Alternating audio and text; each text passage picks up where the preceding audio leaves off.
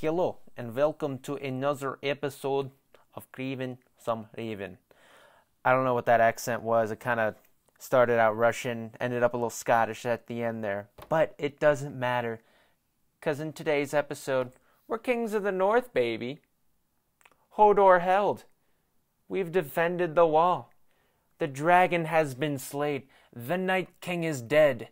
But we're still on top, baby. The Ravens, number one in the AFC North. But we got some contenders gunning for us. We got the Browns. We got the Steelers. And we got the Bengals. One tiger, a color, and a material. Can they take down a bird? I don't know.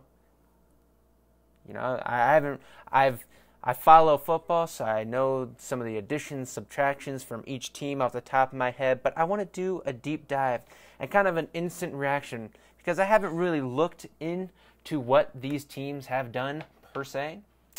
But I'm gonna I'm gonna go ahead and take a gander and see do do we have to be nervous? Maybe I'll review like what I think they're gonna they're gonna be. Maybe I don't know what their what their uh, record's gonna be. I don't know. We'll uh we'll take a look. I, I I don't have an outline for this episode, or really like any episode. Any episode I do is really just me off the cuff, you know, just just talking.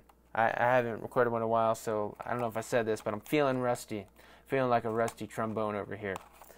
So I got to get back into things. Really talk some Ravens. Get hyped. Get ready, cause the wall's coming down. Got to defend that North.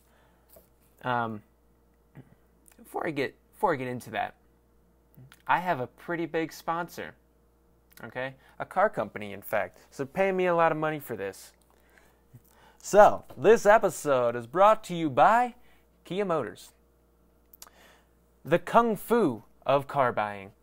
They put the Kia in Kia.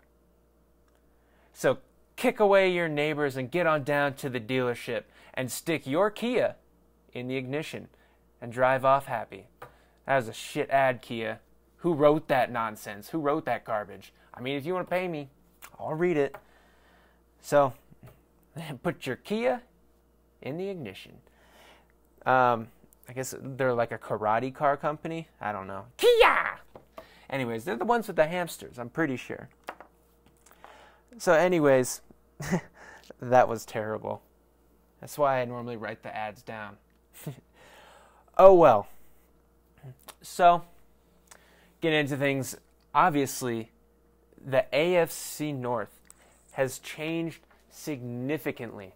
So, we got the Ravens in first place, and we're going into the season with Lamar Jackson, his first ever full full time starting, you know, starting a full season brand new offense, according to Greg Roman and the rest of the team. You know, we don't know for sure. We haven't seen it, but it's going to be different. It's going to be made for Lamar. We're doing run, uh, read options, RPOs, all that fun stuff. Run heavy, big shots downfield. That's the feeling I'm getting. That's the vibe I'm feeling, and I'm excited to see if they get it done. And we are in first place. We got the division last year after that crazy win against the Browns, one of the most exciting games of the year, not just for how it ended, but what it meant. We got the up and coming team in the North, the Browns, which I'll get to next, taking on the the Ravens, trying to get that victory, trying to hand, uh, trying to stag off the Steelers, stag off, trying to. anyways, trying to push back the Steelers from getting from them getting into the playoffs because they failed at the end of the year. They really did themselves dirty. They fucked themselves up, and the Ravens came in, swooped, and grabbed that division. Woo! Let's go. The Jon Snow of the NFL. I don't want to be king. Oh God, that was another shitty accent. I, I gotta stop. So the up and coming threat, the one everyone's talking about, the one and only color, the Browns. What happens when you bring in all these different colors and put them into one? You get brown. And that's what they decided to do. They got Odell Beckham. They got who shit, I don't even know. Who who else did they get? They got uh, Jarvis Landry. He was there last year. I should really know this. Either way, can't open up my goddamn app. There we go. They got Baker Mayfield returning. one of the best rookie quarterbacks in a long time. I was a huge fan of his coming out, and I thought he was gonna. I thought he was gonna do really well, and he ended up doing really well. I'm happy for him. I like his style. His swag's a little bit too much, but that's that's what the Browns needed. They needed a no holds bar. You know, pull him up by the bootstraps, douchebag. Either way, he's got some feist in him. I like his game. I, I, I just love his style. His back and forth with Colin Cowherd really just makes Cowherd look like an idiot. But that's what Cowherd does. He looks like an idiot to get ratings. And you know what? And it works for him. Good good for you, bro. Fucking Colin. I, I hate Colin Cowherd. He, he has some of the worst takes. And then from week to week, he says like the complete opposite. He changes his opinion one week to the next. I mean, that's what we all do. But, bro, if you're to have an opinion, opinionated base show and you're just to change your opinion, why would I care to think about anything you have to say if you're just to change it? I mean, I change my opinions all the time, but I'm not a huge program. I'm just literally a Ravens fan speaking his mind about the Ravens. Just, just you know, recording me talking about the Ravens because where I live, there's not enough Ravens fans where I'm at, and I need to get this stuff off my chest. I need to talk about it with somebody. You know, watching uh, Ravens YouTube and listening to football podcasts, it just ain't enough. I have to splurge. I have to vomit out my ideas so I can feel better. It never works. I'm always like, damn, that was a shit episode. But you know what? I'm going to put it out. Can't see my face. No judgment here. Anyways. So, like I said, they they brought in Odell. They have they got Baker coming back. They signed Kareem Hunt. Everyone forgets. Uh, you know, I don't I don't think I don't know when he can is available. I think it's after like eight weeks or something like that. You know, you kick a girl in the butt, you get eight weeks. I don't know if you've seen the video. Violence against women is not okay, but but his was kind of funny. It was obviously very violent and not cool, or not that violent. He like, she was like in the fetal position because she couldn't handle what was going on. Obviously, the situation was very tense for her, and she and Kareem Hunt kicked her in the butt and she fell over. I thought it was funny. Violence against women is not funny, but violence in general is hilarious to me. I don't care who it's against. I don't pick sides. I'm a feminist. Um, uh, they also brought in uh, defensive tackle Sheldon Richardson. I think that was part of the Odell trade, or maybe it was a separate time. You know, I'm not really too sure. But he is a very good defensive lineman, and they got they got a lot of good talent on the defense. You know, very good high end talent, but not a lot of depth. So they are very susceptible to injury. Oh, look at this. I forgot. They signed Carl Davis. He was cool. I mean, he didn't really do much for us. I didn't really like when we drafted him because I don't I don't like when the Ravens draft Iowa guys in general just because when you watch their tape it's like watching the Steelers play and you're tr- it's like you're watching a Steeler have success and I'm honestly not a huge fan of that. They also got this guy named Eric Kush. Smoke up, Johnny. Smoke some doobies, Kush. Um, yeah, so they got rid of Jabril Peppers. I'm kind of happy about that. You know, he's not the best safety, but he is a fucking missile that'll take out anybody on our team. I, I, I was so glad that when whenever Lamar was running outside, he didn't get smacked by Jabril because he is a missile, a fucking missile, man. I, don't, I don't like a sidewinder missile, or more like a an H bomb, an A bomb. Any of the big ones. He's the fucking Nagasaki because he hits hard. Um, yeah, they still got. Man, I, I really do like the Browns team in general. There's a reason they are getting so much hype. But, like I said, the AFC North has changed so much. And I do believe the Ravens will will contend and defend their title and be on top. But I think the Browns will be right there. And I think they might even be good enough to get in the playoffs as at second place in the AFC North. You know, I, I have I struggle to put them that high because they've never done it before. And now that they got the hype, no one's overlooking them. I know you're the teams they just they always say you never overlook an opponent. You can't do that. Not in the NFL. But eh, they're they're people, and everyone. I mean, what one in thirty-two, or one in thirty-one? Was that their record before this past year? Yeah. Wow. So they did have a comeback year, but now it's basically playoff or bust for them. They've screwed themselves. Like they had enough success last year. So the Browns thought, okay, now we can just get all the hype in the world and we're going to do it. Now, I do believe they're going to have some success. But it was the wrong idea to start giving the Browns all this hype. They they are really screwing themselves over right now. Especially, they finally had some sec- success for the first time. So what do they do? They fire their coach. Hey, we had we did great, guys. Let's get rid of this guy. like maybe maybe Gregg Williams wasn't a great head coach, but you know what? They had success and then they decided to fire him. What? You're dumb. You're dumb. Yeah, man. Um, yeah, so they do have a lot of good good players on paper, but football is not played on paper; it's played on the field. And they got a lot of high ego guys. And uh, John Dorsey, I believe, is is John Dorsey uh, their GM? I believe he is, but he came over from Kansas City, and his whole calling card was taking these high risk players with with issues with uh, not mental issues, but they were risky prospects. You know, Kareem Hunt. obviously, you saw what happened with that, and then he brought him back. Tyreek Hill, one of the best.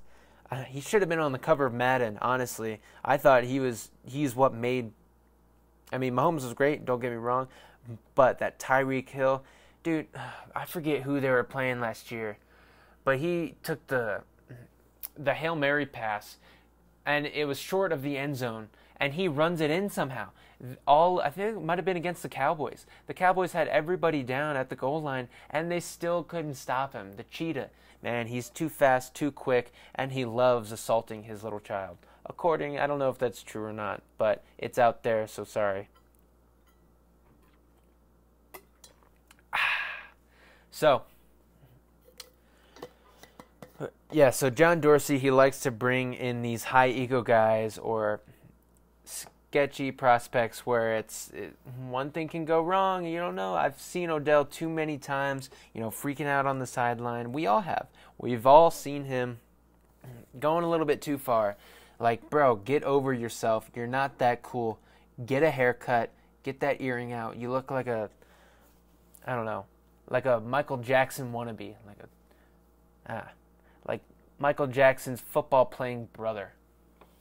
Fucking hee hee. But Odell, yeah. I can't I can't wait for the day when the Browns are down by like 20 and everything starts freaking out. I could see them coming out winning two games. Let me let me look at their schedule. Let me look at the Cleveland Browns schedule. Cleveland. Cleveland. Brown schedule. Hmm. Okay, so they got the Redskins first week. I think they could win. They got the Colts. Oh no, this is preseason. Let me get to the regular season yubbish. So they start off against the Titans. The Titans are were they in the playoffs last year? I know they were in the year before that. They're always in the mix. They are a good fucking team. But the Browns are also a good team. That to me, that game's a toss up. And because fuck the Browns, I'm gonna give it to the Titans. You know, lose the last second one. And we got the Browns versus the Jets. I think the Jets are going to be underrated too. I really, I really do like the Jets. Um, their their defense, what they've been doing this offseason, they stole Mosley from us. But I'm going to give the Browns that one just because I think their their offense is better than the Jets' offense, and I think their defenses are pretty pretty comparable. The Jets got a lot of uh, they got a good defense building. They should have like a top I'm gonna say a top seven, top eight, a top 32 defense. No, they're gonna have I think like a top 10 defense for sure. Oh, and then they got the Rams. I think the Rams are going to beat them. So, listen. And then the Ravens are going to beat them. So they're starting off with one win. I got here, and they're going to start off one and three.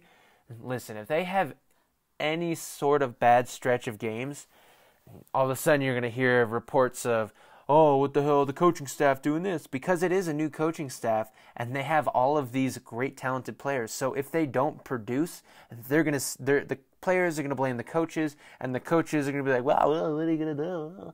It's not me. But I mean, we we haven't seen see them play together, and you can say that really about any team. But with these high profile guys that all want the ball, I think some players are going to get upset. They can say all they want, but that's that's just the nature. Jealousy is a part of the human condition, and I think the Browns, eh, if they start off bad, they might brown their pants. They might brown their pants. Get a new color, Browns fucking Cleveland Greens. Even that sounds better. The Cleveland Blues. Yeah, the Browns. Ugh. Is there is there a reason? Is there a reason the Browns are even called the Browns? This is Cravin' Some Raven podcast, but god damn it, I gotta know this. Why are the Browns uh, called the Browns? Yeah, people ask this question. I'm not the only one. The name of the team was at first left up to Brown. We rejected calls for it to be what?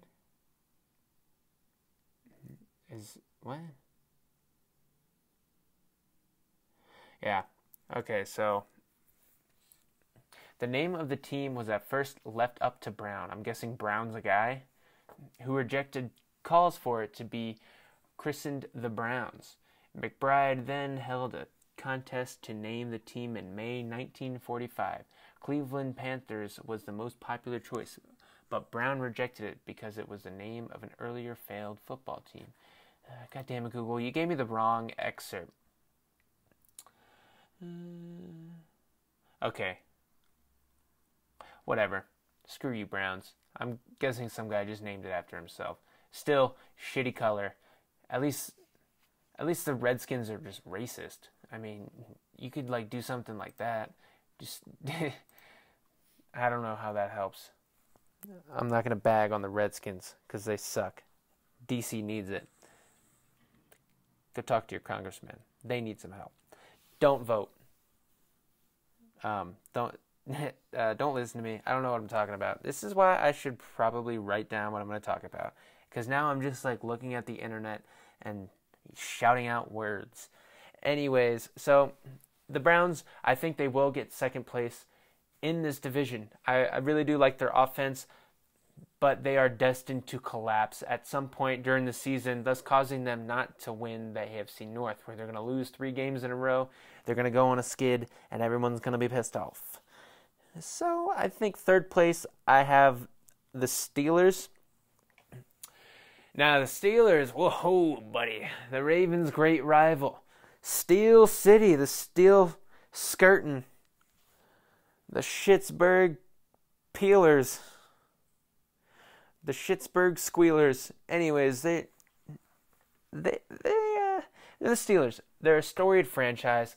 They have, or they're tied for the most uh, Super Bowls in this modern Super Bowl era. They do have six, but I wasn't alive for most of them, so I don't like to count them. Like any Steelers fan, when they're like, "Oh, six, baby, six.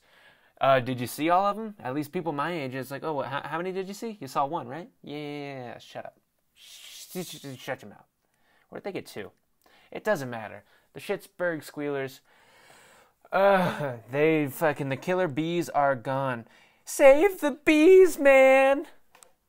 They, they gotta save the bees because, hey, Pittsburgh is out of bees. All they got is Ben Roethlisberger's and and he's the worst out of all of them. I mean, he is a pretty good quarterback. He's very tough to bring down. He frustrates the fuck out of me anytime we'd play him, and they'd be wrapped up around him, and he'd still get the pass off.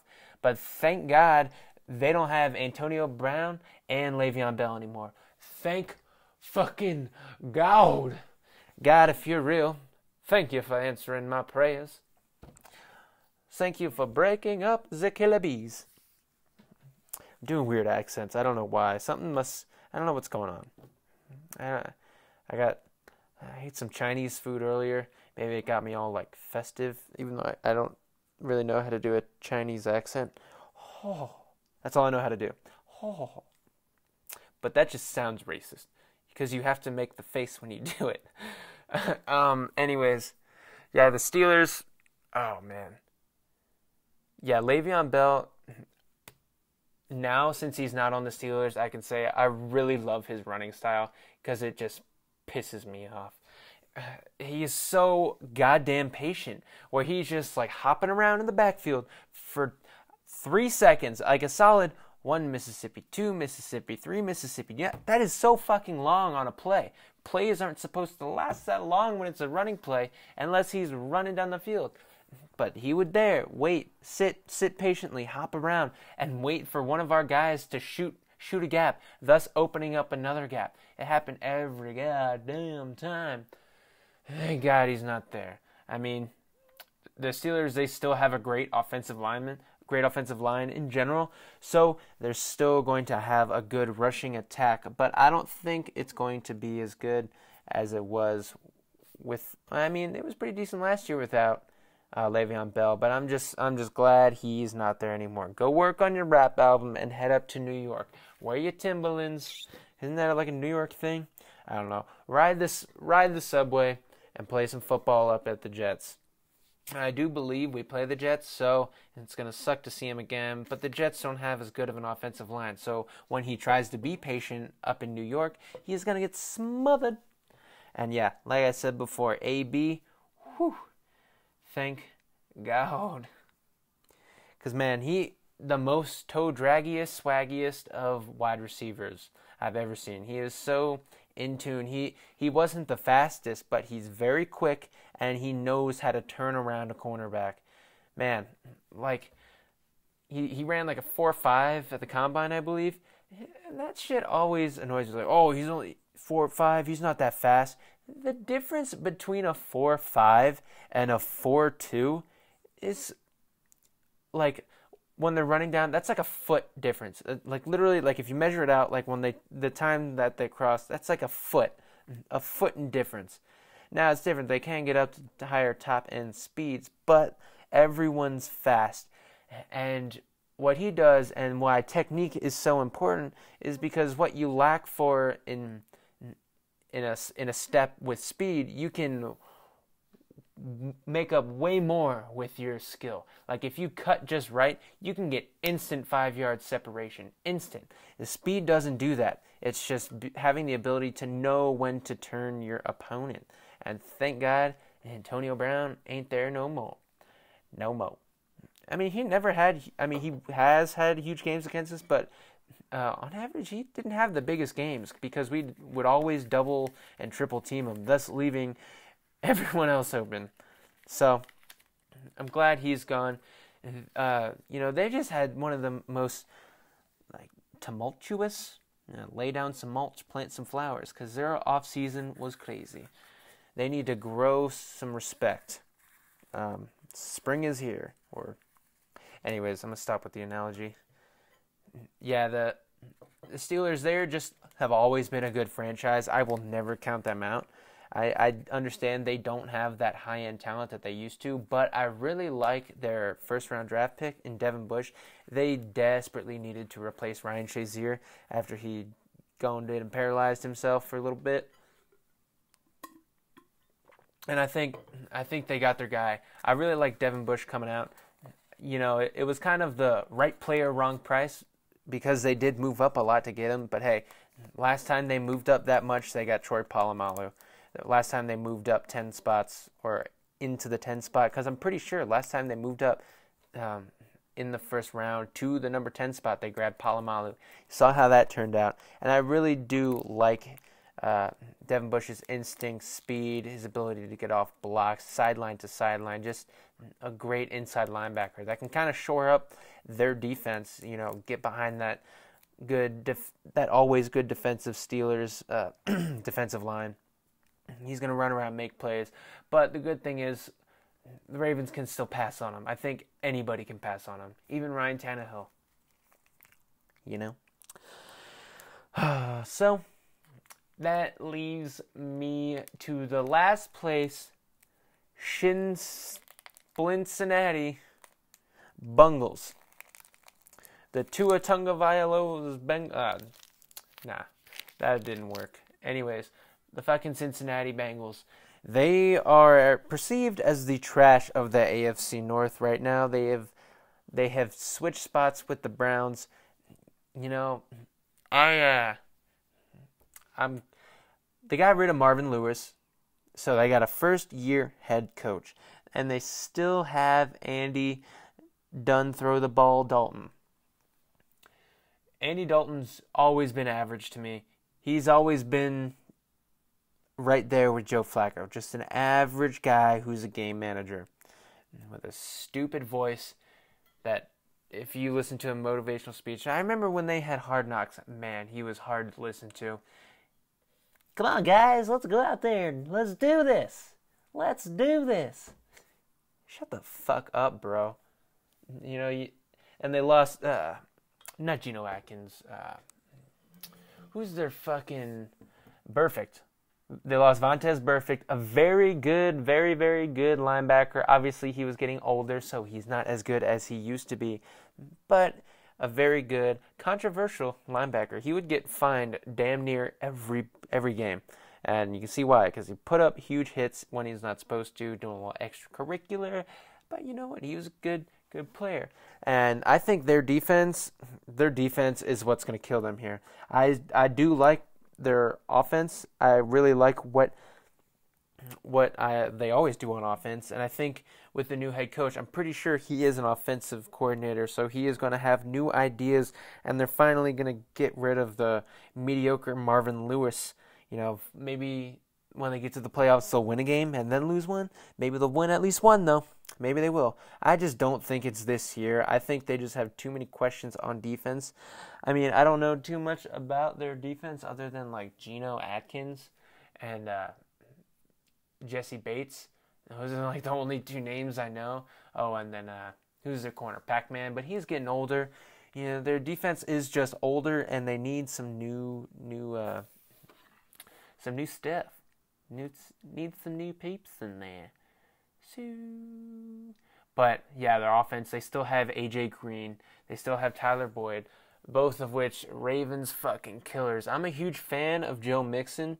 Um, not when he's playing against us, but I just really like his running style, how ferocious he is. They don't have the best offensive line, and it seems like Joe Mixon does everything when he's running. Like he he damn near has to juke 10 guys to get 10 yards. So good on him. He's a very good running back. Um, and they they make me nervous. Like in a, I think they're going to be the worst in the division. You know, four out of fourth place. But I still think we're going to split with them. And both games are going to be tight, and they're going to end up the one they win. It's going to be another one of those fourth quarter miracle fuck you, AJ Green, or fuck you, Tyler Boyd. Another one of those games. Because that's how it goes down every fucking year. The Bengals come out creeping at the end of the year, coming out of the jungle stock. They've been stalking us all year. We got the win on them. We got the jump on them. But then they get the jump on us. They've been waiting in the bushes, trying to hunt down. What do tigers eat? What do they hunt down? Like birds? They're in the jungles. I don't. I don't know what tigers eat. Do they just eat people? Or do tigers just eat people? And why are they orange? They can't camouflage with anything. They live in the in the goddamn rainforest. Nothing is orange in the rainforest. Anyways, fucking Bengals. What are you doing? Get a new mascot. Ugh. Ugh. Well, I never. Anyways, yeah. And the Bengals, yeah, they're gonna I think we're to split with each with each opponent. I think we are to end up going three and three in the division. It is what it is. I mean, I think we were going to be pretty good outside the the division, but I just think, man, it's just one of those things where the Ravens just like to play it close with the the division games every single time. It doesn't no doesn't matter how good or how bad any of the teams will be. So there's that. It blows. I'm actually going to take a look at uh, some of the drafts. Remind myself of what each team did. Going to go back to the Browns. Browns draft. Who we got? Who we got? Yeah, who we got? Who we got? Yeah. What they do, what they do, what they do. Oh shit, that's right. In the second round, they got Greedy Williams. God damn, it was a greedy fucking pick. I really like that. You know, I think Greedy is a good corner, good press man corner. I thought he would have fit the Ravens well. Obviously, we have enough corners, and we're pretty, we're pretty stout at that position. But he is a very good lockdown corner. But he doesn't like to tackle, so the Ravens probably never would have drafted him, and that's probably why he fell to the second round. And I guess he had attitude issues. He's kind of a cunt. Uh, so, and then in round three, they grabbed Sione Takitaki. Watch out for linebacker Sione Takitaki. Don't get drunk on Saki Saki. You gotta watch out for the Taki Taki. Talk to you later. I, I never watched his tape. I don't really know. Man, they, and then in the fourth round, they got Sheldrick Redwine, another great player. This brown goes great with a red wine. Uh, uh, then they got, uh, man, they that was a reach. So Sione Takitaki and Sheldrick Redwine was a reach. Then the fifth round, they got Mack Wilson, the uh, the Alabama inside linebacker, but he's not as good as any of the other Alabama linebackers who have come out. Uh, uh not even close. He is just kind of average. When when you have all of these good defensive players around you, you would expect everyone to shine a little bit more. You know, to everyone have an easier time on the field. But Mack Wilson never really had that. Uh, so he fell to the fifth round. I don't think he would have fell. He should have fallen that far. But you know, people were talking about him in the first round. They ended up getting him in the fifth, and it's a pretty good deal. So Greedy in the second, and Mack in and uh, in the fifth. Those are very good, very good picks. And then some of these other ones, they got a kicker in the fifth round. Ha! All right, Browns, your draft is ass. They they drafted ass. I could see Greedy Williams being a bust, and I don't see any of these players being any sort of contributors. I, I think uh, maybe they were just going for depth because I think most of their positions are pretty set. But you know, you do need high end depth. You, you can't just grab dudes and expect them like, oh well, they're going to be backups anyways. No, no, no. You need guys who would be starters to be your backups, and then that way, when someone gets injured and your team falls apart, Browns, they uh, they step in right away, and then there's no issue. They got tackle Drew Forbes. Look, I made it to Forbes. Mama, I made it to Forbes. Uh, if you know that song, it's a great song. Uh, and then, yeah, I don't know anything about their players.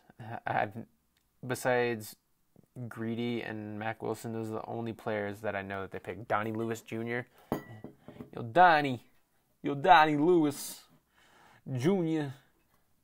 Anyways, yeah, their pick is ass. I don't think they got any better or worse. I think, you know, I think with their with their draft, uh, minus their their uh, losses, minus the fact that they got a new coach, but plus you know the more experience for Baker Mayfield, I think they're gonna stay right where they are. I think they're gonna do better because maybe they would have had more games if Baker started all year. So I could see them finishing 9 and 7, 10 and 6, like no problem. I just think the Ravens are going to finish 12 and 4. I do drink the purple Kool-Aid. I'm not ashamed or afraid to say that. This is, I'm a Ravens fan and god damn it, maybe they'll go 16 and 0. Who gives a fuck? I can say what I want. God, shut up.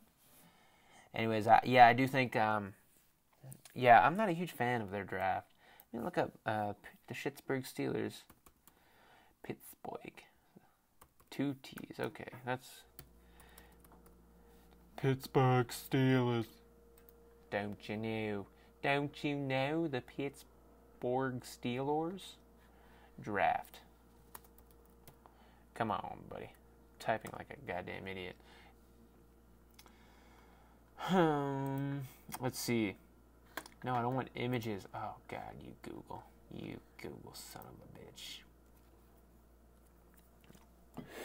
So, if this wants to load any day now, buddy, feel free. All right. Yeah, so like I said, yeah, Devin Bush in round one. I love the pick. I think wrong price, maybe, but they they had a ton of picks. and They ended up recoup, recouping them because they had one, two, three, four, five, six, seven, eight, nine. Wait, five, six. Yeah, so they brought in nine people. So that's very good. And then in the so they didn't have a second round pick, but in the third round they brought in uh, wide receiver Diontae Johnson. I thought he was very good. I didn't think he was going to go in round three.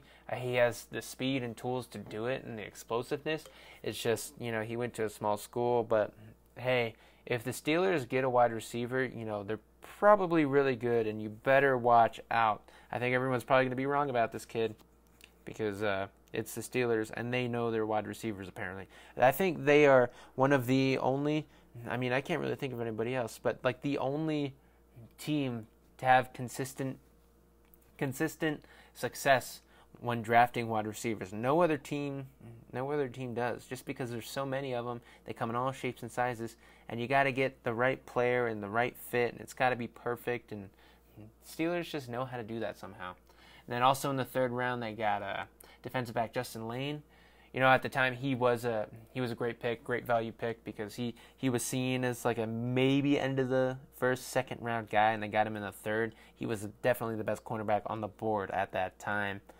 Uh, very good press guy, so maybe they'll do a little bit more press or man to man. They do a lot of zone.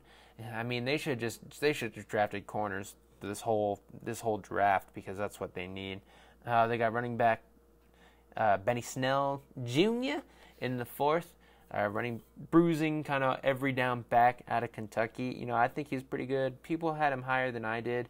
I just thought he was, you know, a good running back. But you know, get a good offensive line, which they do, and you could make anybody look good. Let's be honest. Uh, they got tight end Zach Gentry in the fifth round. I didn't look at the tight ends this year, but he's from Michigan. He's probably pretty good, ah, pretty decent. That guy Vance McDonald that they had, he was a beast. That uh, one stiff arm they had, but fuck the Steelers. Uh, they got linebacker Sutton Smith in the sixth round. Um, white guy, linebacker.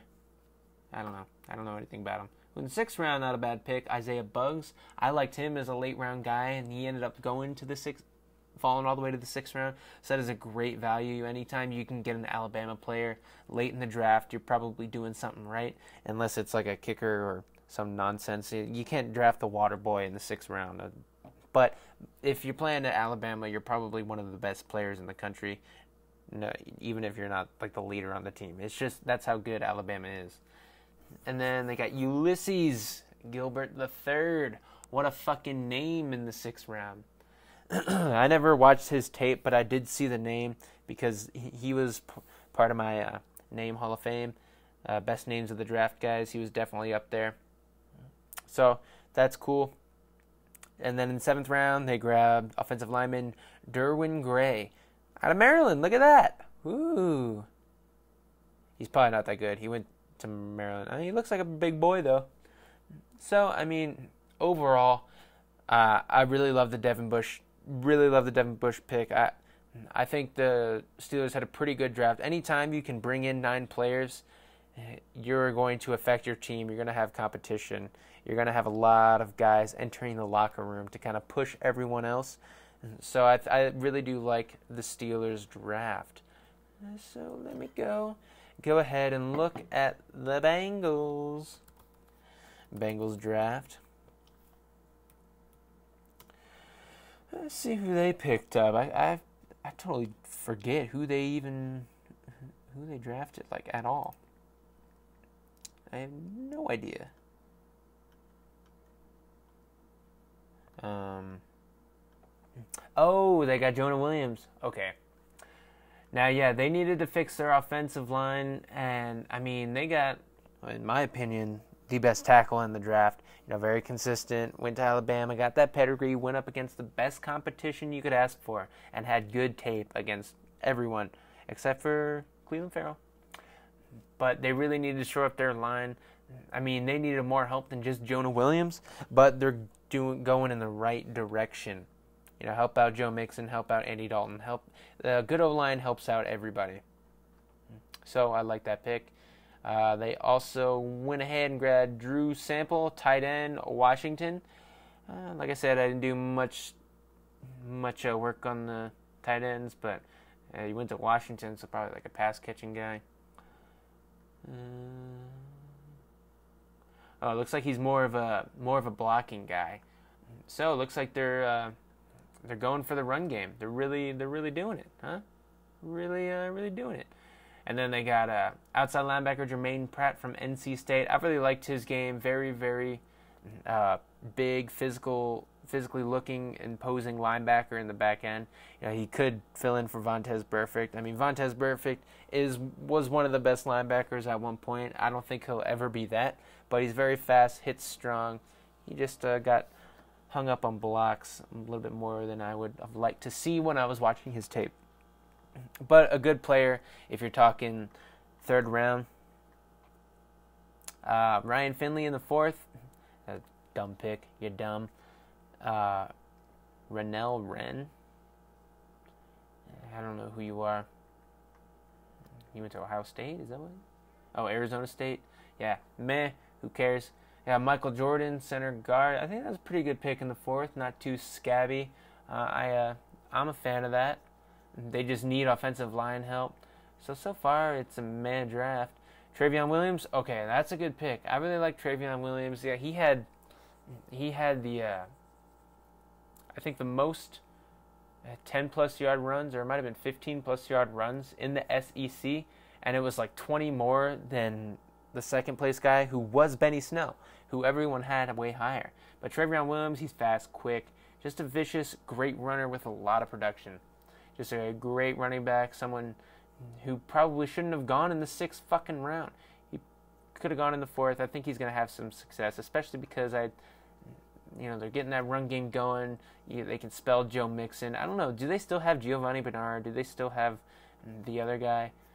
I don't know but he will be a decent backup for you. Uh, Deshaun Davis, linebacker Auburn. I don't really know nothing about him. Sixth round Auburn guy, but you know Auburn guy, SEC. You know, gonna gonna do pretty good. I, I, so far, I think the Bengals seem to have gotten value. And in the sixth round, they go ahead and grab another running back, Rodney Anderson. I forgot they totally did draft him. Going so now they got two Oklahoma running backs. One beats his girl, and one one gets injured. This so they yeah, Rodney Anderson would have been one of the top running backs in this draft if not for his injuries, and that says it all. Best uh, best ability is availability. That's what they say, but that's why he went into the sixth round. And you know, if it works out and it works for them, they got Jordan. They got uh, Jordan Brown in the seventh, cornerback, South Dakota State. Who fucking cares? Their draft was draft was all right. So obviously the Ravens had the best draft. You know, I'm not a homer or nothing, but I uh, I think the Ravens did have the best draft.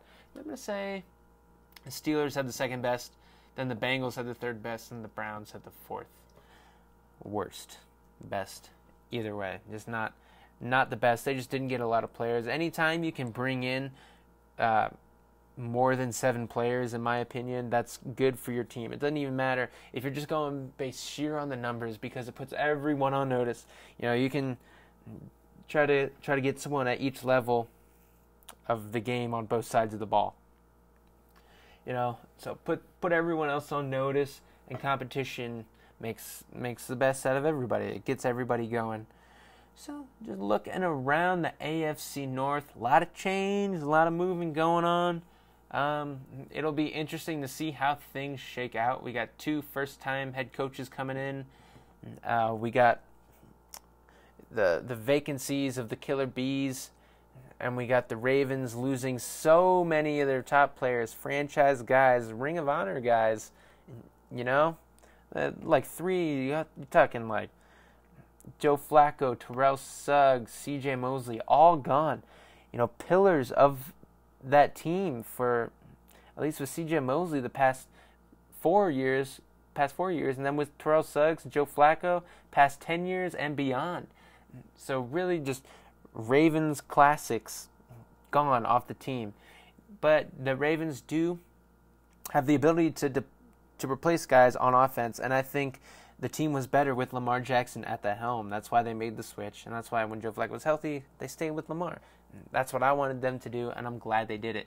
Normally, they don't listen to me when I'm yelling at the screen, but maybe now, since I got the podcast, maybe they'll listen more. This is the first year I'm doing it, so I can't wait for the season to actually start. I'm tired of all this speculation, opinions, bullshit. I want some real stuff on the field so I can do my opinions, speculation bullshit then when there's actually football, and I can you know, place bets and say this is going to happen and then it not happen and then everyone yell at me.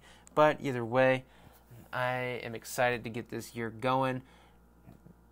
All of the AFC North, North teams make me nervous, but we're still going to come out on top. We're going to defend the wall. Hodor! Hodor! Anyways, I think I think that's going to do it for this episode. So if you like the podcast, you know, like it, comment on it, share it. If you're listening on YouTube, it's also on other uh, podcast platforms, you know, iTunes, Spotify, Google Play, Stitcher. Um, I feel like I'm missing one. SoundCloud. So a lot of the good ones, you know. If you're listening on YouTube and you want to put it in your pocket, listen to some good Ravens content, you can do that on the other uh, stuff. So subscribe, you know, leave a rating. Everything helps, really. You don't have to, but it'd be it'd be a lot cooler if you did. Um, yeah, that's gonna do it. I'm gonna leave you guys with a Go Ravens. Can I get a go Ravens? I don't know what that was. I literally just covered my mouth and said "Go Ravens." Go Ravens.